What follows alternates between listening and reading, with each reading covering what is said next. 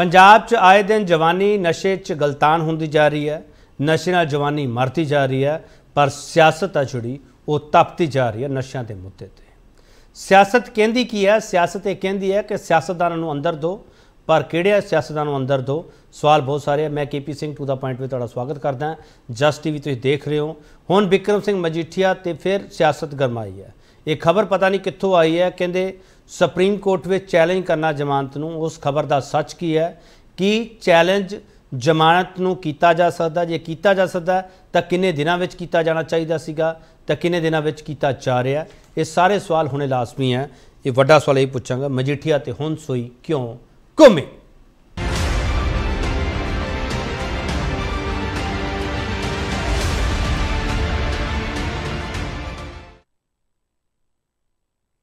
ਵੱਡਾ ਸਵਾਲ ਤੁਹਾਡੇ ਸਾਹਮਣੇ ਹੈ, ਵੱਡਾ ਸਵਾਲ ਅਸੀਂ ਇਹ ਪੁੱਛਣ ਜਾ ਰਹੇ ਹਾਂ, ਨਸ਼ਿਆਂ ਸਨੇ ਮਜੀਠੀਆ ਖਿਲਾਫ ਹੁਣ ਤੱਕ ਪੰਜਾਬ ਸਰਕਾਰ ਦੇ ਦਾਅਵਿਆਂ 'ਚ ਕਿੰਨਾ ਦਮ ਹੈ? ਇਸ ਸਵਾਲ ਤੇ ਬਹਿਸ ਹੋ ਜਿਹੜਾ ਪੈਨਲ ਸਾਡੇ ਨਾਲ ਤੁਹਾਡਾ ਤਾਰਫ ਹੋਣੇ ਤੋਂ ਉਸ ਤੋਂ ਬਾਅਦ ਡਿਬੇਟ ਓਪਨ ਹੋ ਜਾਵੇਗੀ। ਸ਼ਸ਼ੀਵੀਰ ਸ਼ਰਮਾ, ਆਮ ਆਦਮੀ ਪਾਰਟੀ ਸਪੋਕਸਪਰਸਨ ਹੈ ਅਰਸ਼ਪ੍ਰੀਤ ਸਿੰਘ, ਅਰਸ਼ਦੀਪ ਸਿੰਘ ਕਲੇਰ, ਸ਼੍ਰੋਮਣੀ ਅਕਾਲੀ ਦਲ ਦੇ ਬੁਲਾਰੇ ਹੈ ਅਰਸ਼ਪ੍ਰੀਤ ਸਿੰਘ ਖੜਿਆਲ, ਕਾਂਗਰਸ ਸਪੋਕਸਪਰਸਨ ਹੈ, ਜਗਮੋਹਨ ਸਿੰਘ ਭੱਟੀ ਸੀਨੀਅਰ ਐਡਵੋਕੇਟ ਹੈ। ਸਾਰੇ ਵਕੀਲਾਂ ਦਾ ਪੈਨਲ ਹੈ ਇਹ, ਸਾਰੇ ਮਹਿਮਾਨਾਂ ਦਾ ਬਹੁਤ ਸਵਾਗਤ ਕਰਦੇ ਹਾਂ। ਮ- ਮੇਰੀ ਤਗੀਦ ਆ ਸਾਰੇ ਮਹਿਮਾਨਾਂ ਨੂੰ, ਜਿਹਨੂੰ ਸਵਾਲ ਕੀਤਾ ਜਾਵੇ, ਕਿਰਪਾ ਕਰਕੇ ਉਹੀ ਜਵਾਬ ਦਿਓ, ਤੁਸੀਂ ਵਕੀਲ ਹੋ ਜਿਹੜਾ ਕਰਨ ਵਿੱਚ ਬਹੁਤ ਮਾਹਰ ਹੋ, ਪਰ ਟੀਵੀ ਦੀ ਜਿਹੜੀ ਮਰਿਆਦਾ ਉਸ ਨੂੰ ਕਾਇਮ ਰੱਖਿਓ। ਸ਼ਸ਼ੀਵੀਰ ਸ਼ਰਮਾ ਪਹਿਲਾ ਸਵਾਲ ਹੈ ਸਰ ਵਿਕਰਮ ਸਿੰਘ ਮਜੀਠੀਆ ਨੂੰ ਜ਼ਮਾਨਤ ਕਿਸ ਦਿਨ ਮਿਲੀ ਸੀ ਤੇ ਉਹ ਤੁਸੀਂ ਹੁਣ ਤੱਕ ਕੀਤਾ ਕੀ ਹੈ? ਸਰ ਸਭ ਤੋਂ ਪਹਿਲਾਂ ਕਿ ਜਦੋਂ ਵੀ ਕਿਸੇ ਕੇਸ 'ਚ ਜ਼ਮਾਨਤ ਹੋ ਜਾਂਦੀ ਉਸ ਤੋਂ ਬਾਅਦ ਪੰਜਾਬ ਗਵਰਨਮੈਂਟ ਸੈਂਕਸ਼ਨ ਕਰਦੀ ਹੈ ਅਗਰ ਤੁਸੀਂ ਕਿਸੇ ਅਪੀਲ ਨੂੰ ਤੁਸੀਂ ਚੈਲੰਜ ਕਰਨਾ ਜਾਂ ਕਿਸੇ ਬੇਲ ਨੂੰ ਤੁਸੀਂ ਚੈਲੰਜ ਕਰਨਾ ਹੈ। ਸੇਮ ਤਰਜ ਦੇ ਉੱਤੇ ਡੈਫੀਨਿਟਲੀ ਕਿਉਂਕਿ ਲੀਗਲ ਪੈਟਰਨ ਹੈ ਉਹ ਜਿਹੜੀ ਪੰਜਾਬ ਗਵਰਨਮੈਂਟ ਨੇ ਉਹ ਜਿਹੜਾ ਉਹਦੇ ਖਿਲਾਫ ਅਪੀਲ ਨੂੰ ਉਹਦੀ ਬੇਲ ਨੂੰ ਚੈਲੰਜ ਕਰਨ ਵਾਸਤੇ ਉਹ ਸੈਂਕਸ਼ਨ ਕਰ ਦਿੱਤਾ ਗਿਆ ਹੈ ਜਿਹਦੇ ਤਹਿਤ ਵਿੱਚ ਗਾ ਅੱਗੇ ਫਰਦਰ ਆਉਣ ਵਾਲੇ ਦਿਨਾਂ ਦੇ ਵਿੱਚ ਜਿਹੜੀ ਉਹਦੀ ਬੇਲ ਹੈ ਚੈਲੰਜ ਹੋ ਰਹੀ ਹੈ ਮਜੀਠੀਆ ਦੀ। ਹੁਣ ਇਹਦੇ ਵਿੱਚ ਦੱਸਣ ਵਾਲੀ ਗੱਲ ਹੈ ਕਿ ਜਦੋਂ ਵੀ ਕਿਉਂਕਿ ਐਨਡੀਪੀਐਸ ਦੇ ਕੇਸਿਸ ਨੂੰ ਲੈ ਕੇ ਪੰਜਾਬ ਸਰਕਾਰ ਡੇ 1 ਤੋਂ ਹੀ ਬਹੁਤ ਸੀਰੀਅਸ ਹੈ ਕਿਉਂਕਿ ਬਹੁਤ ਸ਼ਸ਼ੀਵੀਰ ਜੀ ਮੇਰਾ ਹੈ। ਸ਼ਸ਼ੀਵੀਰ ਜੀ ਮੇਰਾ ਸਵਾਲ ਬੜਾ ਸਿੱਧਾ ਹੁੰਦਾ ਸਰ ਸਾਰੀਆਂ ਸਰਕਾਰਾਂ ਬੜੀਆਂ ਸੀਰੀਅਸ। ਰਹੀਆਂ ਹੁਣ ਤੱਕ ਸਰ ਡਰੱਗ ਦੇ ਮਾਮਲੇ ਸਾਰਿਆਂ ਨੇ ਬੜੇ ਬੜੇ ਦਾਅਵੇ ਕੀਤੇ ਆ ਸ਼ਸ਼ੀਵੀਰ ਜੀ। ਮੈਂ ਸਿੱਧਾ ਸਵਾਲ ਕਰ ਰਿਹਾ ਵਿਕਰਮ ਸਿੰਘ ਮਜੀਠੀਆ ਨੂੰ ਜ਼ਮਾਨਤ ਕਿਸ ਦਿਨ ਮਿਲੀ ਸੀ? ਤੇ ਉਸ ਤੋਂ ਬਾਅਦ ਹੁਣ ਤੱਕ ਸਰਕਾਰ ਨੇ ਕੀਤਾ ਕੀ ਹੈ? ਸਰ ਇੱਕ ਐਕਸ਼ਨ ਦੱਸ ਦਿਓ ਸਰ ਕੀ ਕੀਤਾ? ਜ਼ਮਾਨਤ ਸਰ ਜਦੋਂ ਵੀ ਜ਼ਮਾਨਤ ਹੁੰਦੀ ਹੈ ਜ਼ਮਾਨਤ ਹੋਣ ਤੋਂ ਬਾਅਦ ਇੱਕ ਹਮੇਸ਼ਾ ਇੱਕ ਲੀਗਲ ਪ੍ਰੋਸੀਜਰ ਹੁੰਦਾ ਹੈ। ਲੀਗਲ ਪ੍ਰੋਸੀਜਰ ਹੋਣ ਤੋਂ ਬਾਅਦ ਉਸੇ ਤਰੀਕੇ ਦੇ ਨਾਲ ਹੀ ਸੈਂਕਸ਼ਨ ਹੁੰਦੀ ਹੈ। ਅਗਰ ਤੁਸੀਂ ਕਿਸੇ ਨੂੰ ਬੇਲ ਨੂੰ ਚੈਲੰਜ ਕਰਨਾ ਹੈ ਸਰ ਲੀਗਲ ਪ੍ਰੋਸੀਜਰ ਮਾੜਾ ਦੱਸ ਦਿਓ ਸ਼ਸ਼ੀਵੀਰ ਜੀ 80 ਦਿਨ ਲੱਗਦੇ ਆ ਲੀਗਲ ਪ੍ਰੋਸੀਜਰ ਨੂੰ ਮੀਡੀਆ ਵਿੱਚ ਲਿਆਉਣ ਦੇ ਲਈ।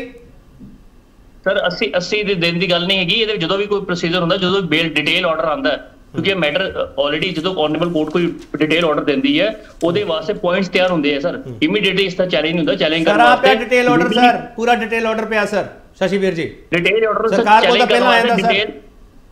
ਡਿਟੇਲ ਸਰ ਫੈਕਟ ਵੀ ਚਾਹੀਦਾ ਉਸ ਤੋਂ ਅੱਗੇ। ਫੈਕਟ ਵੀ ਕ੍ਰੀਏਟ ਕਰਨੇ ਪੈਂਦੇ ਜਿਹੜੇ ਪੁਆਇੰਟਸ ਉੱਤੇ ਤੁਸੀਂ ਚੈਲੰਜ ਕਰਨਾ ਵਾ। ਚਲੋ ਤੁਸੀਂ ਇਹ ਮੰਨਦੇ ਹੋ ਸ਼ਸ਼ੀਵੀਰ ਜੀ ਤੁਸੀਂ ਇਹ ਮੰਨਦੇ ਹੋ ਤੁਸੀਂ ਲੇਟ ਨਹੀਂ ਹੋਏ। ਸਰ ਕੋਈ ਲੇਟ ਨਹੀਂ ਹੋਏ ਇਹਦੇ ਵਿੱਚ ਜਿਹੜਾ ਵੀ ਪ੍ਰੋਸੀਜਰ ਅਡਾਪਟ ਕਰ ਰਹੇ ਜਿਹੜਾ ਵੀ ਟਾਈਮ ਲੱਗ ਰਿਹਾ ਬਿਲਕੁਲ ਉਸ ਤਰੀਕੇ ਨਾਲ ਚੱਲ ਰਹੇ ਨੇ। ਕੀ ਕਾਰਵਾਈ ਕਰਨ ਜੀ। ਰਹੇ ਹੋ? ਐਸਐਲਪੀ ਪਾ ਰਹੇ ਹੋ? ਕੀ ਕਰ ਰਹੇ ਹੋ? ਸਰ ਇਹਦੇ ਵਿੱਚ ਚੈਲੰਜ ਕਰਨ ਜਾ ਰਹੇ ਨੇ ਜਿਹੜੀ ਉਹਦੀ ਬੇਲ ਆਰਡਰਸ ਹੋਏ ਸੀਗੇ ਉਹ ਬੇਲ ਆਰਡਰਸ ਨੂੰ ਤਰਕ ਦੇ ਆਧਾਰ ਦੇ ਉੱਤੇ ਜਿਹੜੇ ਆਲਰੇਡੀ ਫੈਕਟਸ ਹੈਗੇ ਨੇ ਫੈਕਟ ਦੇ ਉੱਤੇ ਉਹਨੂੰ ਚੈਲੰਜ ਕੀਤਾ ਜਾ ਰਿਹਾ। ਚਲੋ ਠੀਕ ਹੈ। ਮਿਸਟਰ ਪੱਟੀ ਸਰਕਾਰ ਲੇਟ ਤਾਂ ਨਹੀਂ ਹੋਈ ਜ਼ਮਾਨਤ ਨੂੰ ਚੈਲੰਜ ਕਰਨ ਦੇ ਵਿੱਚ? ਸਰਕਾਰਾਂ ਕੋਈ ਵੀ ਹੋਣ ਫੈਸਲੇ ਜਦੋਂ ਵੀ ਲੈਂਦੀਆਂ ਵਿਮਸ ਐਂਡ ਫੈਂਸੀਜ਼ ਦੇ ਉੱਤੇ ਹੁੰਦੇ ਆ ਫੈਕਚੁਅਲੀ ਪੋਜੀਸ਼ਨ ਦੇ ਉੱਤੇ ਨਹੀਂ ਹੁੰਦੇ ਪਹਿਲੀ ਚੀਜ਼। ਮੈਂ ਇੱਥੇ ਲਾਰਡ ਡੈਨਿੰਗ ਜਸਟਿਸ ਦੀ ਗੱਲ ਕਰ ਰਿਹਾ ਇੰਗਲੈਂਡ ਦੇ ਅਲਫਰਡ ਡੈਨਿੰਗ ਜਸਟਿਸ ਸੀਗੇ ਸਰ। ਉਹਨਾਂ ਨੇ ਇਹ ਕਿਹਾ ਸੀਗਾ ਫਰੀडम ਅੰਡਰ ਦੀ ਲਾ ਜਦੋਂ ਇਹ ਗੱਲ ਕਹਿੰਦੇ ਨੇ ਤਾਂ ਉਹ ਇਹ ਕਹਿੰਦੇ ਆ liberty is not a gift for the few whenever one of the judges takes seat there is one application which by long tradition has priority over all other matters the council has to say my lord i have an application which concerns the liberty of the subject and forthwith the judge will put all other matters aside and hear it ਪਰ ਸਾਡੇ ਜਿਹੜੇ system ਹੈ ਉਹਦੇ ਵਿੱਚ ਬੇਲ applications ਦਾ ਕਿਸ ਤਰ੍ਹਾਂ ਕਹਾਣ ਹੁੰਦਾ ਹੈ ਰੋਜ਼ ਅਸੀਂ ਦੇਖਦੇ ਹਾਂ ਸਾਰੇ ਅਸੀਂ ਵਕੀਲ ਭਰਾਵਾਂ ਸਾਰਾ ਕੁਝ ਕਰਦੇ ਹਾਂ। ਔਰ ਇਹਦੇ ਵਿੱਚ ਅਰਨਬ ਗੋਸਵਾਮੀ ਦੇ ਕੇਸ ਵਿੱਚ ਮਾਨਯੋਗ ਸੁਪਰੀਮ ਕੋਰਟ ਨੇ ਆਪਣਾ ਫੈਸਲਾ ਸੁਣਾਉਂਦੇ ਹੋਏ ਇਹ ਗੱਲ ਕਹੀ ਹੈ।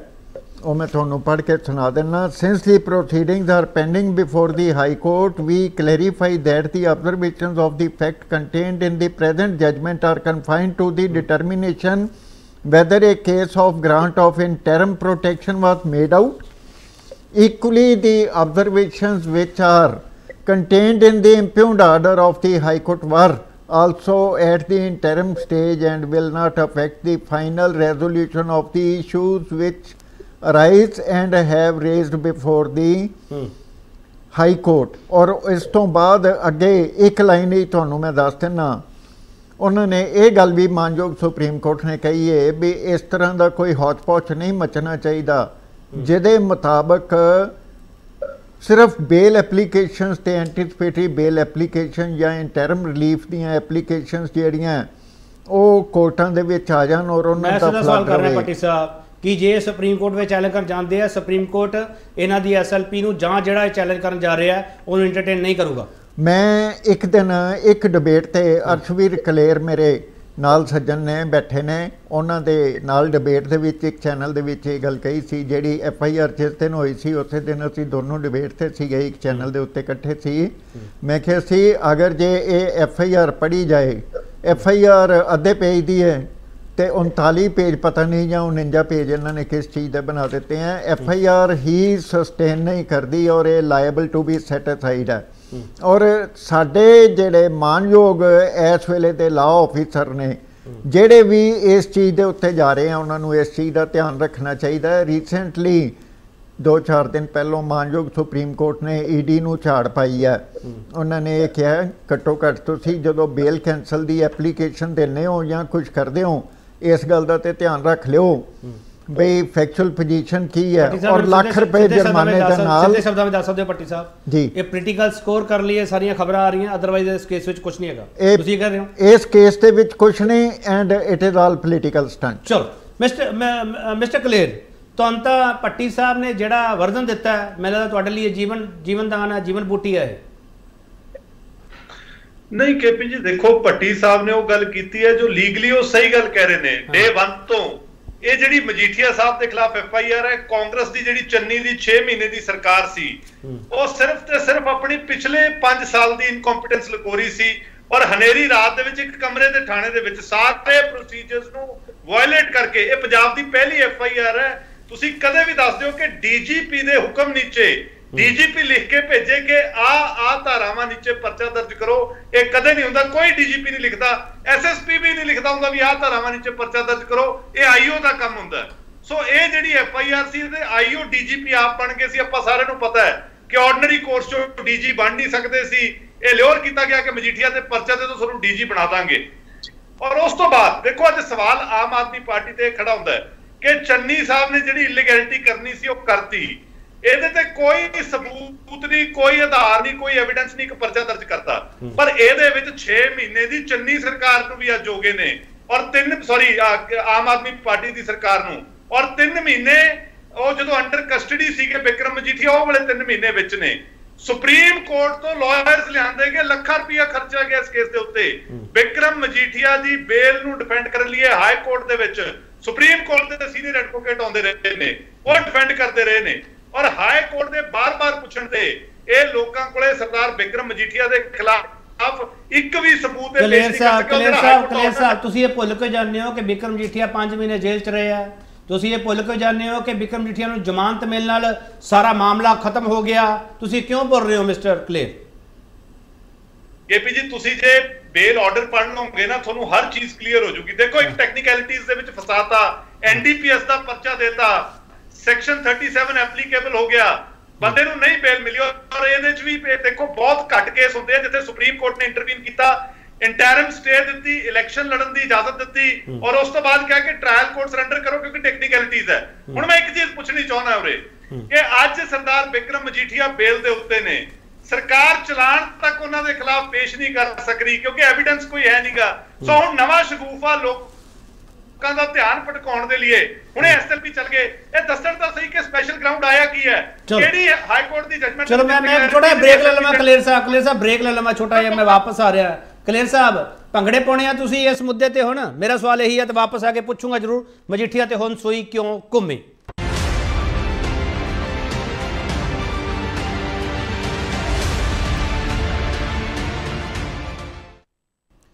ਇੱਕ ਵਾਰ ਫਿਰ ਤੁਹਾਡਾ ਸਵਾਗਤ ਕਰਦੇ ਹਾਂ ਤੇ ਵੱਡਾ ਸਵਾਲ ਤੁਹਾਡੇ ਸਾਹਮਣੇ ਨਸ਼ਿਆਂ ਸਨੇ ਮਜੀਠੀਆ ਖਿਲਾਫ ਹੁਣ ਤੱਕ ਪੰਜਾਬ ਸਰਕਾਰ ਦੇ ਦਾਅਵਿਆਂ 'ਚ ਕਿੰਨਾ ਦਮ ਹੈ? ਮਿਸਟਰ ਕਲੇਰ ਮੈਂ ਸਵਾਲ ਇਹ ਕਰ ਰਿਹਾ ਸੀਗਾ ਫਿਰ ਤੁਸੀਂ ਭੰਗੜੇ ਪਾਉਂਦੇ ਰਹੋ। ਕੇਪੀ ਜੀ ਗੱਲ ਅੱਜ ਭੰਗੜੇ ਪਾਉਣ ਦੀ ਨਹੀਂ। ਗੱਲ ਇਹ ਹੈ ਕਿ ਸਰਕਾਰਾਂ ਦਾ ਜਿਹੜਾ ਕੋਈ ਗਲਤ ਕੰਮ ਹੈ ਦੇਖੋ ਅਸੀਂ ਅੱਜ ਵੀ ਕਹਿੰਦੇ ਆ ਕਿ ਦੇਸ਼ ਦੀ ਜੁਡੀਸ਼ਰੀ ਦੇ ਵਿੱਚ ਸਾਡਾ ਪੂਰਨ ਵਿਸ਼ਵਾਸ ਹੈ। ਔਰ ਮੈਂ ਹਮੇਸ਼ਾ ਡੇ 1 ਤੋਂ ਇੱਕੋ ਗੱਲ ਕਹੀ ਸੀ ਜਦੋਂ ਇਹ ਪਰਚਾ ਵੀ ਦਰਜ ਹੋਇਆ ਸੀ ਕਿ ਅਦਾਲਤ 'ਚ ਜਾਊਗਾ ਦੁੱਧ ਦਾ ਦੁੱਧ ਪਾਣੀ ਦਾ ਪਾਣੀ ਹੋ ਜੂ ਤੁਸੀਂ ਜਿਹੜੀ ਐਂਟੀ ਸੌਰੀ ਜਿਹੜੀ ਰੈਗੂਲਰ ਬੇਲ ਹੈ ਮਜੀਠੀਆ ਸਾਹਿਬ ਦੀ ਉਹਦਾ ਆਰਡਰ ਪੜ੍ਹ ਲਓ ਕਲੀਅਰਲੀ ਮੈਂਸ਼ਨ ਕਰਦਾ ਹਾਂ। ਕਿ ਹੁਣ ਤੱਕ ਜਿੰਨਾ ਵੀ ਐਵੀਡੈਂਸ ਔਨ ਰਿਕਾਰਡ ਹੈ ਤੋਂ ਸਾਬਤ ਨਹੀਂ ਹੁੰਦਾ ਕਿ ਵਿਕਰਮ ਮਜੀਠੀਆ ਦਾ ਡਰੱਗ ਦੇ ਟ੍ਰੇਡ ਨਾਲ ਜਾਂ ਡਰੱਗ ਤਸਕਰਾਂ ਨਾਲ ਕੋਈ ਦੂਰ ਦੂਰ ਤੱਕ ਦਾ ਵੀ ਲੈਣਾ ਦੇਣਾ ਹੈ। ਸੋ ਇਹ ਤੋਂ ਸਪਸ਼ਟ ਆਰਡਰ ਕਿਸੇ ਹਾਈ ਕੋਰਟ ਦਾ ਕਦੇ ਨਹੀਂ ਆ ਸਕਦਾ। ਚਲੋ ਮਿਸਟਰ ਖੜਿਆਲ। ਮਿਸਟਰ ਖੜਿਆਲ ਤੁਸੀਂ ਸਿਰਫ ਸਿਆਸੀ ਮਫਾਦਾਂ ਦੇ ਲਈ ਕੇਸ ਕੀਤਾ ਮਿਸਟਰ ਮਜੀਠੀਆ ਤੇ। ਤੁਹਾਡੇ ਕੇਸ ਦੀ ਵਜ੍ਹਾ ਕਰਕੇ ਜਿਹੜੀਆਂ ਧਾਰਾਵਾਂ ਤੁਸੀਂ ਲਾਈਆਂ ਸੀ ਉਹਦੀ ਵਜ੍ਹਾ ਕਰਕੇ ਬਿਕਰਮ ਸਿੰਘ ਮਜੀਠੀਆ ਨੂੰ 5 ਮਹੀਨੇ ਬਾਹਰ ਨਹੀਂ ਆਉਣ ਦਿੱਤਾ ਗਿਆ। ਪਰ ਕੇਸ ਵਿੱਚ ਕੁਝ ਨਹੀਂ ਹੈਗਾ। ਅਕਾਲੀ ਦਲ ਦਾ ਸਿੱਧਾ ਸਿੱਧਾ ਦਾਅਵਾ ਖੜਿਆਲ ਸਾਹਿਬ। ਧਾਰਾ ਪਹਿਲਾਂ ਤਾਂ ਸਰਕਾਰ ਨਹੀਂ ਲਾਉਂਦੀ ਹੁੰਦੀ ਪੁਲਿਸ ਲਾਉਂਦੀ ਹੈ। ਸਰਕਾਰ ਦਾ ਇਹਦੇ ਵਿੱਚ ਕੋਈ ਰੋਲ ਨਹੀਂ ਹੁੰਦਾ। ਗੱਲ ਨੰਬਰ 2 ਸਰਕਾਰ ਨੇ ਅੰਦਰ ਨਹੀਂ ਕੀਤਾ ਸੀ, ਵਿਕਰਮ ਮਜੀਠੀਆ ਨੂੰ ਪੁਲਿਸ ਨੇ ਕੀਤਾ ਸੀ ਨਾ। ਇਹਨਾਂ ਨੇ ਕਿਹਾ ਵੀ ਡੀਜੀਪੀ ਨੇ ਲਿਖ ਕੇ ਦਿੱਤਾ ਵੀ ਆਹ ਸੈਕਸ਼ਨਸ ਇੰਪੋਜ਼ ਹੋਣੇ ਚਾਹੀਦੇ ਆ। ਪਹਿਲੀ ਗੱਲ ਤਾਂ ਕਿਹੜਾ ਰੋਲ ਕਹਿੰਦਾ ਹੈ ਵੀ ਡੀਜੀਪੀ ਇਹ ਨਹੀਂ ਕਰ ਸਕਦਾ। ਦੂਜੀ ਗੱਲ ਜੇ ਗਲਤ ਕੀਤਾ ਹੈ ਤਾਂ ਡੀਜੀਪੀ ਦੇ ਖਿਲਾਫ ਐਕਸ਼ਨ ਲਿਆ। ਡੀਜੀਪੀ ਦੇ ਖਿਲਾਫ ਕੋਰਟ ਦੇ ਵਿੱਚ ਗਏ ਉਹਦਾ ਜਵਾਬ ਹੈ ਨਹੀਂ।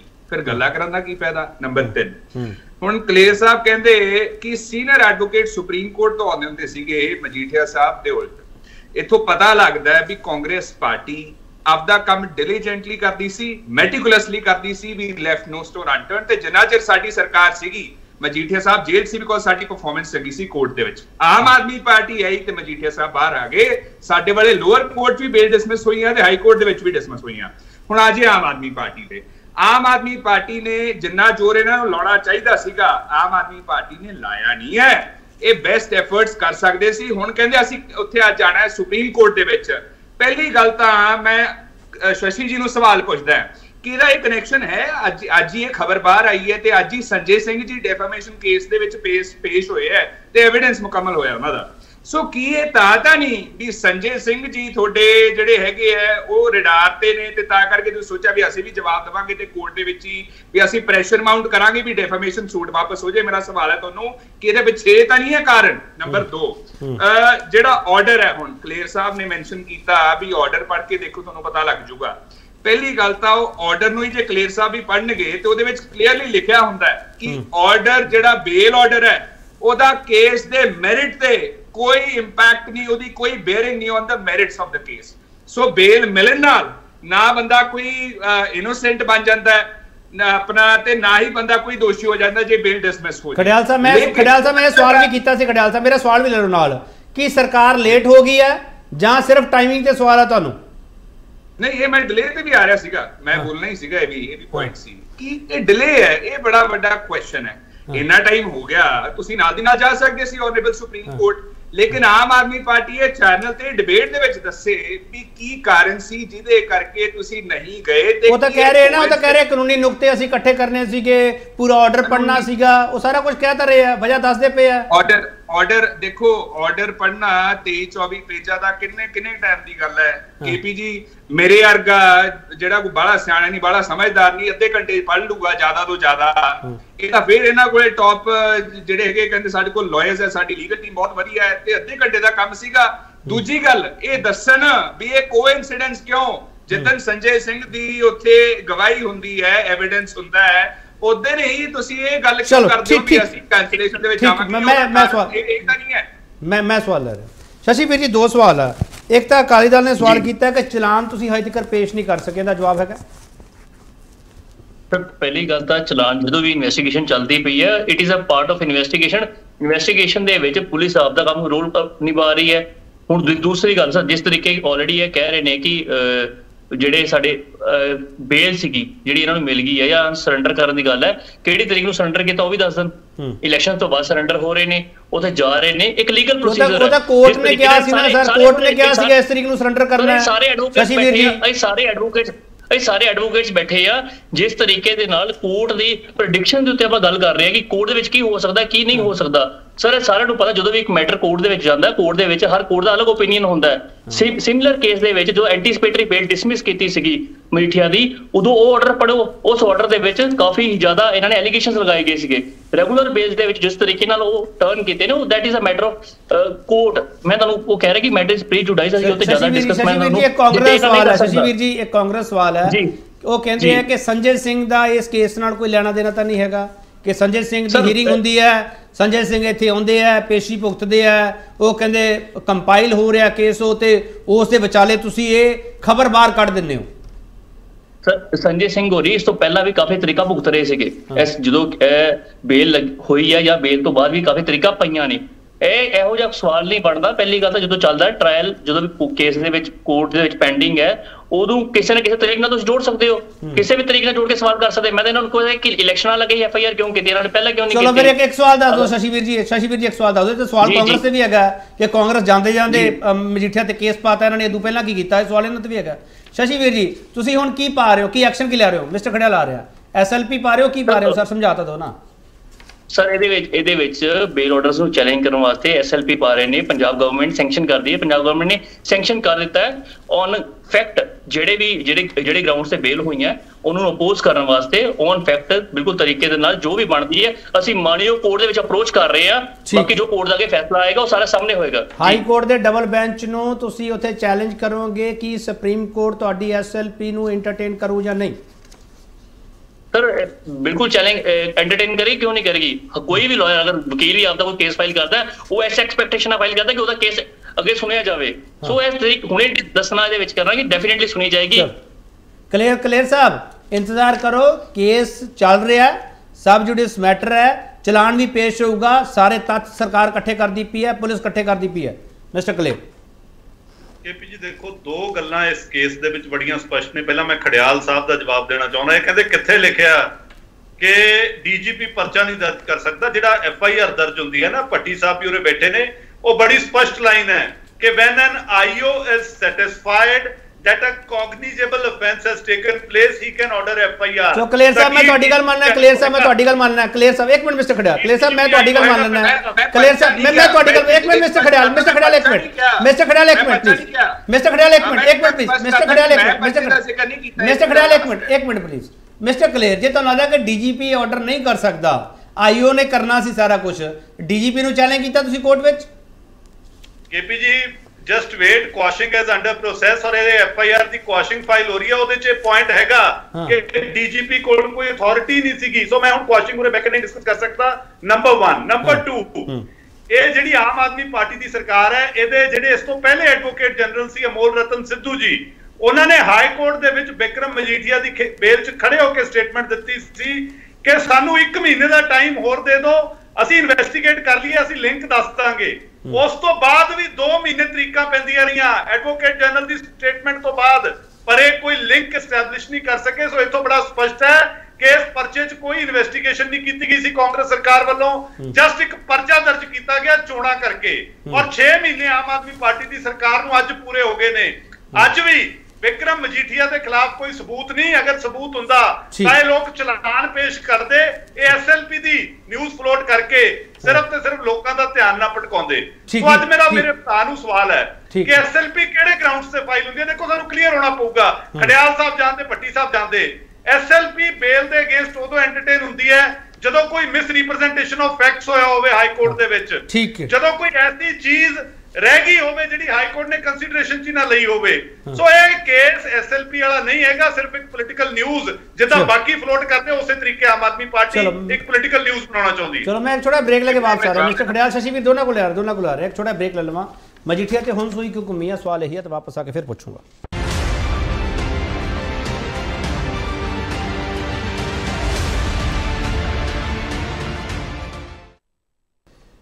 ਇੱਕ ਵਾਰ ਤੁਹਾਡਾ ਤੁਹਾਡਾ ਸਵਾਗਤ ਕਰਦੇ ਹਾਂ ਤੇ ਵੱਡਾ ਸਵਾਲ ਤੁਹਾਡੇ ਸਾਹਮਣੇ, ਨਸ਼ਾ, ਸਨੇ ਮਜੀਠੀਆ ਖਿਲਾਫ ਹੁਣ ਤੱਕ ਪੰਜਾਬ ਸਰਕਾਰ ਦੇ ਦਾਅਵਿਆਂ 'ਚ ਕਿੰਨਾ ਦਾਅਵਾ ਹਾਂ? ਮਿਸਟਰ ਖੜਿਆਲ, ਕੀ ਕਹਿਣਾ ਚਾਹ ਰਹੇ ਹੋ?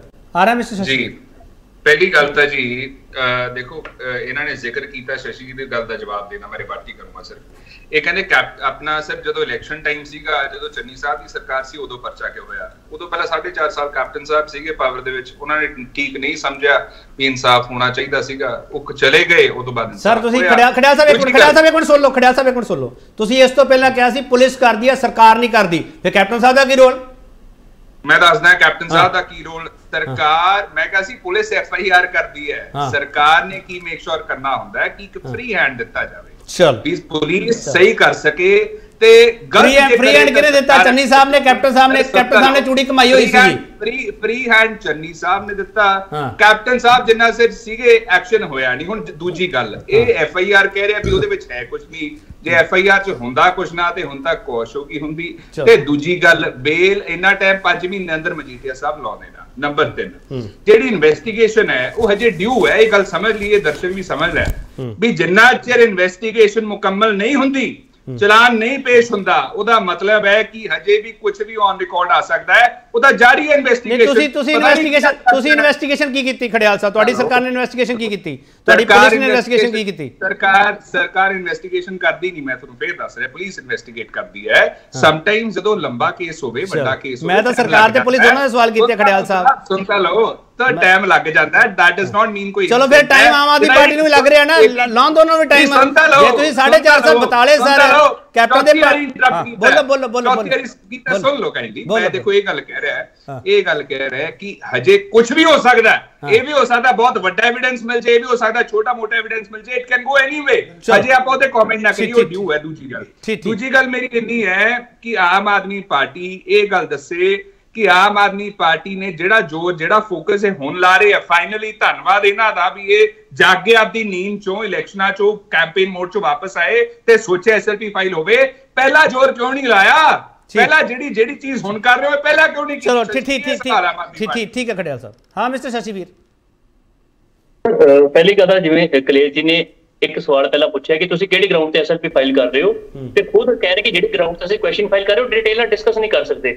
ਮੈਂ ਕੀ ਸਮਝਦਾ ਕਿ ਜਿਹੜਾ ਟੀਵੀ ਦਾ ਮਾਧਿਅਮ ਹੈ ਤੇ ਕਿਸੇ ਵੀ ਜਿਹੜਾ ਕਾਨੂੰਨੀ ਅਸੀਂ ਨੁਕਤੇ ਤੇ ਗੱਲ ਕਰ ਸਕਦੇ ਹਾਂ ਡਿਟੇਲ ਨਾਲ ਨਹੀਂ ਗੱਲ ਕਰ ਸਕਦੇ। ਦੂਸਰੀ ਗੱਲ ਇਨਵੈਸਟੀਗੇਸ਼ਨ ਦੀ ਆਲਰੇਡੀ ਖੜਿਆਲ ਸਾਹਿਬ ਨੇ ਦੱਸ ਚੁੱਕੇ investigation is already pending investigation ਦੇ ਵਿੱਚ ਬਹੁਤ ਕੁਝ ਨਿਕਲ ਕੇ ਸਾਹਮਣੇ ਆਣਾ ਹੈ। ਅਗਰ ਐਫ ਆਈ ਆਰ ਕੁਐਸ਼ ਹੋਣੀ ਹੋਣ ਵਾਲੀ ਹੁੰਦੀ ਹੁਣ ਤੱਕ ਐਫ ਆਈ ਆਰ ਕੁਐਸ਼ ਹੋ ਗਈ ਹੋਣੀ ਸੀਗੀ। ਦੂਸਰੀ ਗੱਲ ਜਿਸ ਤਰੀਕੇ ਦੇ ਨਾਲ ਜਿਸ ਤਰੀਕੇ ਦੇ ਨਾਲ ਅਕਾਲੀ ਦਲ ਹਰ ਥਾਂ ਦੇ ਉੱਤੇ ਸਿਰਫ ਆਪਦੇ ਕਲੀਨ ਚਿੱਟ ਦੇਣ ਦੀ ਇਹਨਾਂ ਨੂੰ ਆਦਤ ਹੈ। ਪਹਿਲਾਂ ਪੁਰਾਣੇ ਸਮੇਂ ਜਦੋਂ ਆਪਦੀ ਸਰਕਾਰਾਂ ਰਹੀਆਂ ਵੈ ਜੋ ਸਰਕਾਰ ਬਦਲਦੀ ਹੈ ਕਲੀਨ ਚਿੱਟ ਲੈ ਲੈਂਦੇ ਸੀਗੇ ਇਸ ਟਾਈਮ ਇੱਕ ਚੀਜ਼ ਮੈਂ ਮੇਕ ਸ਼ੋਰ ਕਰਦਾ ਕਿ ਆਮ ਆਦਮੀ ਪਾਰਟੀ ਦੇ ਵੱਲੋਂ ਪੁਲਿਸ ਨੂੰ ਬਿਲਕੁਲ ਫ੍ਰੀ ਹੈਂਡ ਦਿੱਤਾ ਗਿਆ। ਕਿਸੇ ਵੀ ਤਰੀਕੇ ਦਾ ਕੋਈ ਪੋਲੀਟੀਕਲ ਪ੍ਰੈਸ਼ਰ ਨਹੀਂ ਹੈ ਪੁਲਿਸ ਦੇ ਉੱਪਰ। ਪੁਲਿਸ ਆਪਣਾ ਕੰਮ ਇਮਾਨਦਾਰੀ ਨਾਲ ਕਰ ਰਹੀ ਹੈ। ਆਉਣ ਵਾਲੇ ਟਾਈਮ ਤੇ ਜਿਹਦੇ ਰਿਜ਼ਲਟ ਸਾਹਮਣੇ ਹੋਣਗੇ ਲੋਕਾਂ ਦੇ। ਠੀਕ ਹੈ। ਮਿਸਟਰ ਪੱਟੀ ਹਾਂ ਮਿਸਟਰ ਪੱਟੀ ਇੱਕ ਗੱਲ ਬੜੀ ਸਾਫ਼ ਤੇ ਸਪਸ਼ਟ ਉਗੜ ਕੇ ਸਾਹਮਣੇ ਆ ਰਹੀ ਹੈ।